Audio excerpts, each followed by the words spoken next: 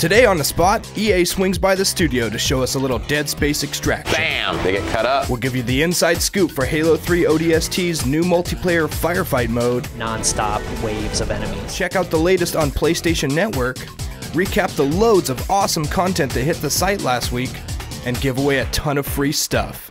All that and more today on the spot.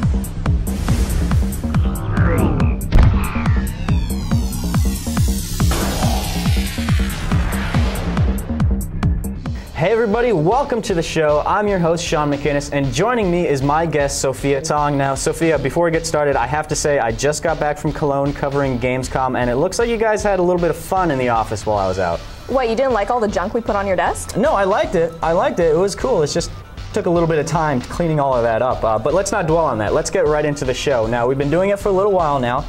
But if you guys aren't caught up, if it's your first time watching, today on the spot is our three times weekly show where we play some games, try to make sure that you guys are caught up in the world of gaming news, and just generally try to have a good time with what we're showing. But uh, before we get started, Sophia, is there anything that you wanted to add? Yeah, I just want to let you guys all know that be sure to stay tuned for the entire show because we have a Dead Space demo coming up, more Halo news, and we love to give away random cool stuff, so be sure to stay tuned for that. Random cool stuff is some of my favorite stuff in the world. Me too. Cool deal. Let's throw it to Tor Thorsen to see what's going on in the world of news. Hey everybody, it's a GameSpot news update for Saturday, August 29th. I'm Tor Thorsen. Do you like games with talking pigs designed by Frenchmen? If that's the case, I've got some bad news. If reports out of Europe are true, Beyond Good and Evil may be in development limbo. A reporter for the French game news site Gamasad claims he has first-hand confirmation the sequel to the 2003 cult hit is, quote, on hold. Yeah, I know that's kind of thin, but keep in mind the Michel Ancel developed game has been missing in action since it was first announced in May 2008. It wasn't shown at E3, where Ubisoft aggressively pushed Splinter Cell Conviction, which was promptly delayed till 2010. So even if development of Beyond Good and Evil is underway, we're not going to see it till what? 2011? Ugh.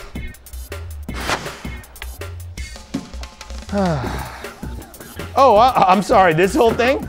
I bought this three days ago. That's right, despite Sony's announcement the PS3 Slim would launch on September 1st, the console is already on sale at many retailers. We did an impromptu survey, and GameStop is already selling out of the console, while Best Buy still has a good amount in stock. However, general retailers like Target and Walmart are sticking by the street date, and dictated by their corporate overlords, they won't sell it till Tuesday. Suckers! Hey, that's all the news not fit to print. For more headlines like these, head over to news.gamespot.com. And thank you, Sean. I'm off to the haberdashery. what, what? Thank you, Tor. You are a true gentleman. Now let's take a look at a little thing we like to call This Week on PlayStation Network. This week on PlayStation Network, in the full downloadable games department, Invincible Tiger The Legend of Han Tao is released on Friday for $14.99. Fight your way through countless foes as you work your way through six environments, facing off against swarms of enemies, leading to satisfying boss fights. Invincible Tiger The Legend of Han Tao does a decent job of mimicking the style of some of the old Kung Fu classic films, complete with cheesy dialogue and bad dubbing. While visually impressive and fun boss fights are included, some of the ease in button mashing your way through the bulk of the levels should be noted. Two players can fight through the levels together, either locally and online, which is a lot of fun with someone of your own skill level, though playing with someone who dies a lot is a bit frustrating since both of you share lives from the same pool. Also new for full download this week are the PS1 classics Cool Borders 2, Tomb Raider 2, and SimCity 2000. Each goes for $5.99 and are available now. Game demos just didn't include Wet, which pitch you as heroine Ruby Malone, who packs two guns, swords, and the skills to use them. Being able to slow down time temporarily while running on the wall, sliding on the ground, or jumping in the air gives you a chance not only to aim, but also time for style. Wet is rated M and is scheduled for release on September 15th.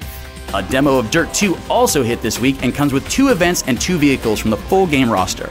Featuring 8 player head to head online racing, Dirt 2 is a demo racing game fans should check out ahead of the game's release on September 8th. Lastly, a demo of Fear 2 Project Origins is now available for download.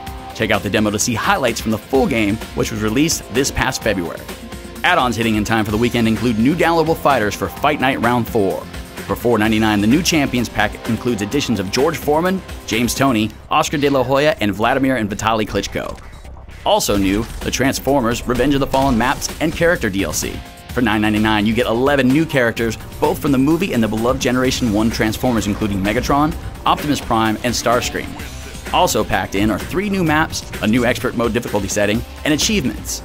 Lastly is the new Star Wars The Force Unleashed map pack for $9.99 that lets you visit Tatooine and a story that continues the evil ending.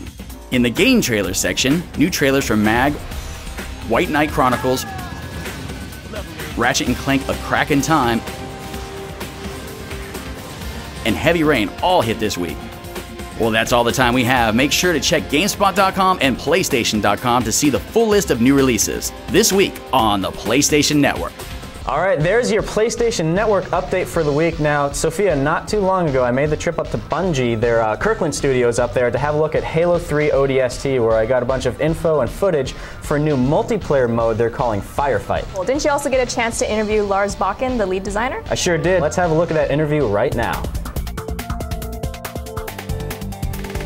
Hey guys, we're here at Bungie Studios in Kirkland, and I've got Lars Bakken here to tell us a little bit about Halo 3 ODST Firefight mode.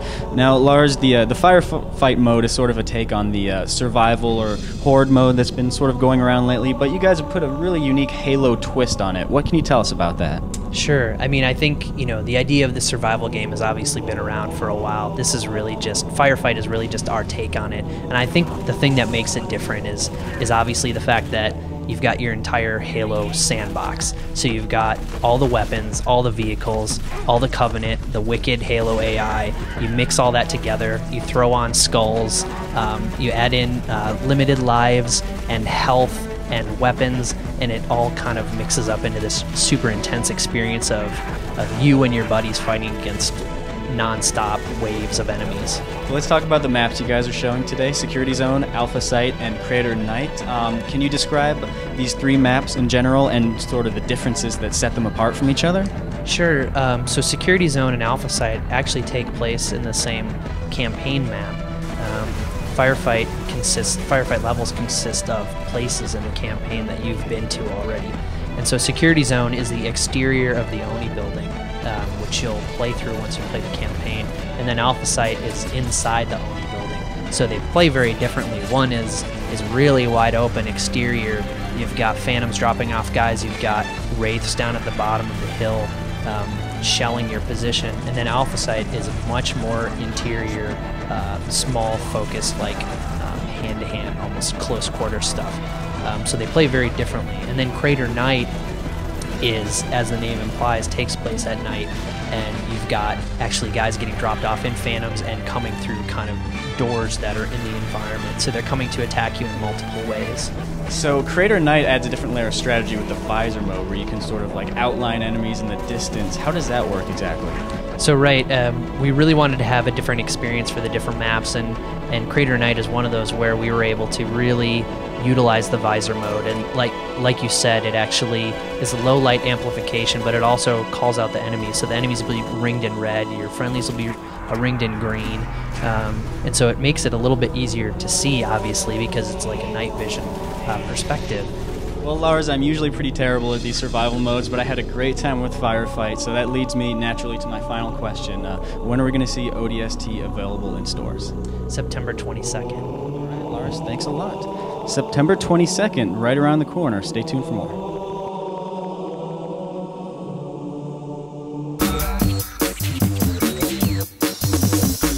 Well, all that time travel is starting to hurt my brain a little bit, so let's jump back into the present day. Uh, just so you guys know, you can check out more information on all the games that we cover on the show by going to the individual game spaces for more information, including previews, news, and video. But definitely a lot of stuff going up on the site this past week. Yeah, and there's more. So the Dead Space Extraction trailer wasn't the only exclusive that we had. Brian Ekberg actually met with the executive producer in today's daily demo.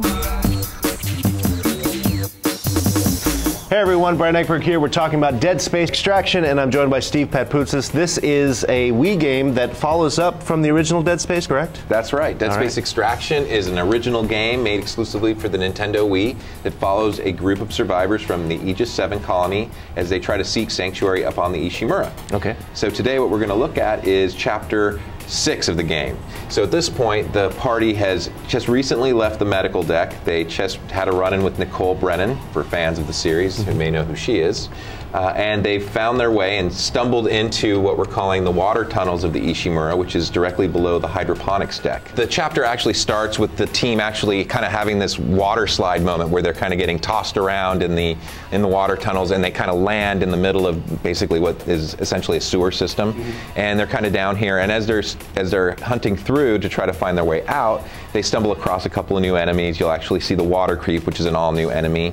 Um, there's lots of different things to pick up, new weapons that you haven't found to this point in the game, and uh, a couple of branching paths, and some reintroductions of some old enemies like the Exploder and the female slasher appear in this chapter. right, so let's take a go ahead and let, let the game go.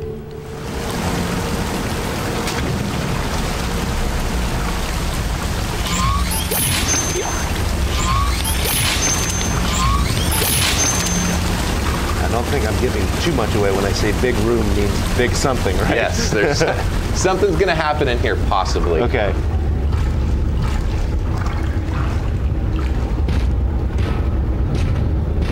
God, that smell. There's a thousand crew on this ship. Wastewater has to go somewhere. Hello there! Freeze! I'm not going anywhere. And there's no need to point that thing at me. Who are you? Dr. Howell, agricultural engineer.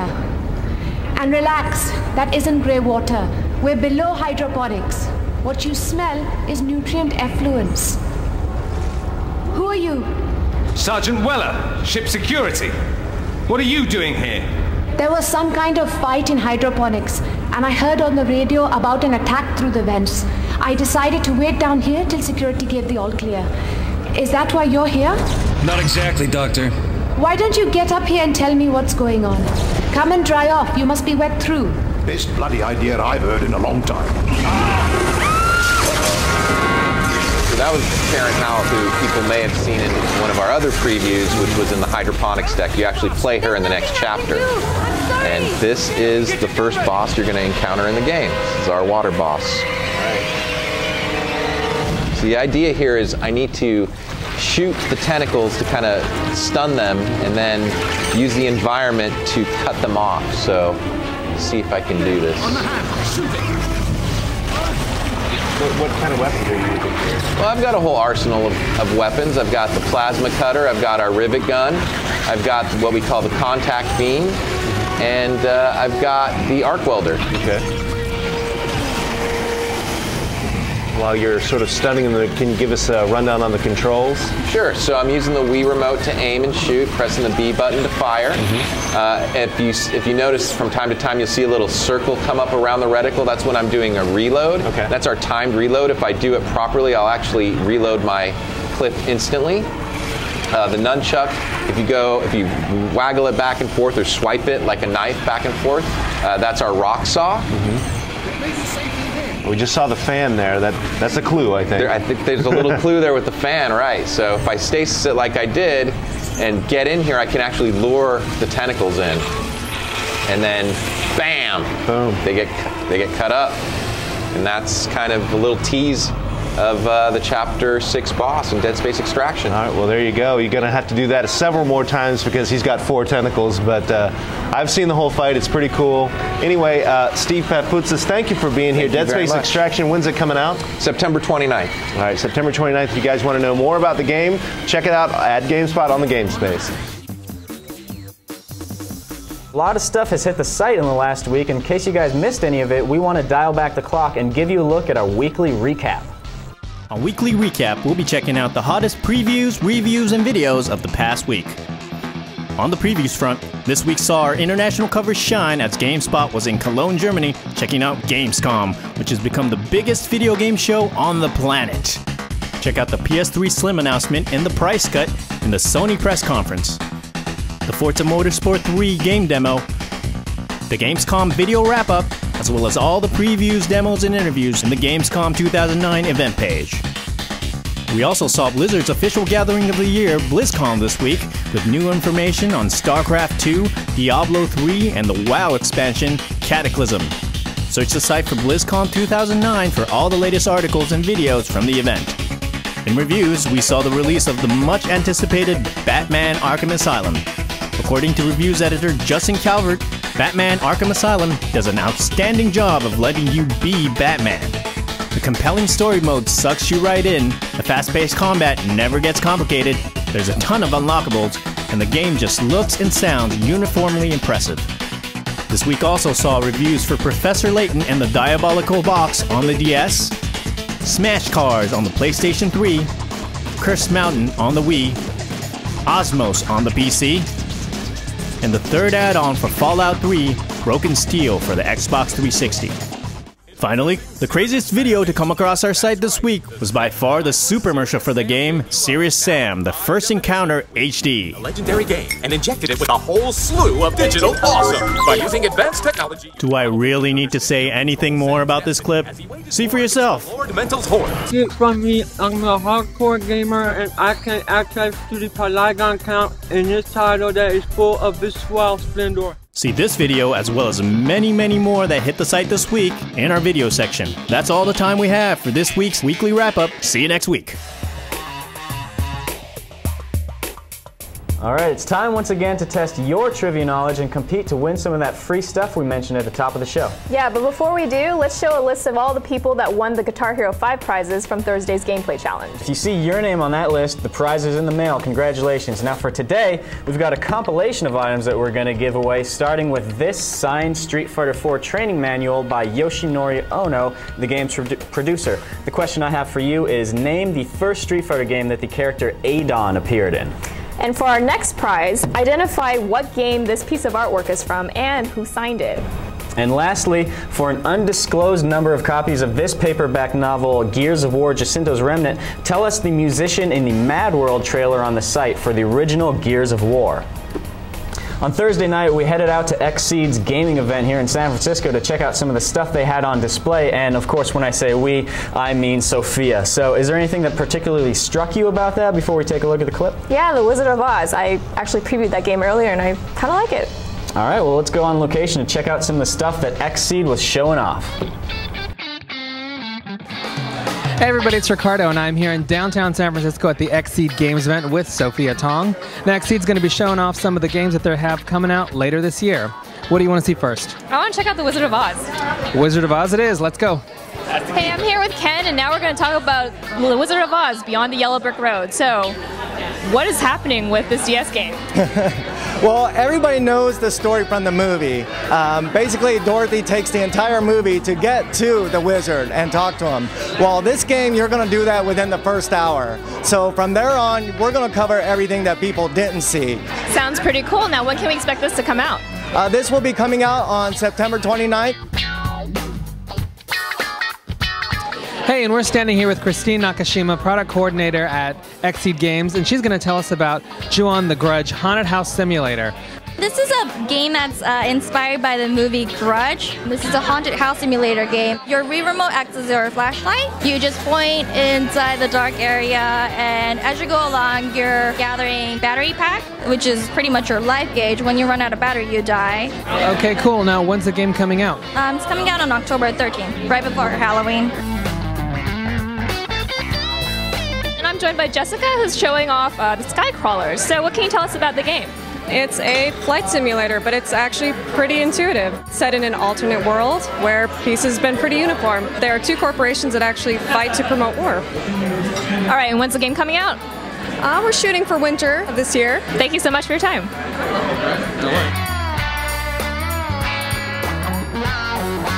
Hey, we're here with Ken, and he's showing off Valhalla Knights. So, what can you tell us about this game? Uh, Valhalla Knights, Eldar Saga for the Wii. It's uh, Valhalla Knights. The first two iterations were released on PSP, and this is the series making a big jump over to a home console. Uh, a lot of the same customization, the level up, the grinding that the hardcore gamers love, but brought to a whole new level. All right, sounds good. And when can we expect it out? It is coming out this fall. Thanks so much for your time. All right, and there you go. That is your look at Xseed's titles. Um, I don't think you're going to find too many places where you'll have a flight sim and a Wizard of Oz RPG, will you? That's true. This is the only place you're going to find that together. All right, for more on the games, check out the site. Well, that'll do it for the Saturday, August 29th episode of the show. Yeah, and before we go, be sure to check our site and put in your brackets for the all-time greatest game hero. For the rest of the Today on the Spot crew, I'm Shaun McInnis. And I'm Sophia Tong. Have a great weekend, and thanks for watching. I'm talking to the viewers, not Jan. Sorry. You're, you're beautiful too, in a different way. It's a pretty sweet piece of artwork. Yes, it is. It looks kind of familiar though. Yeah? Yeah. Yeah, I would say hmm. so. Sophia, so Yeah. before we get to that, anything you want to mention? Well, I'm, I already took, took it. I already took a look at the yellow brick road. Can we do that? Good. I think that's a keeper.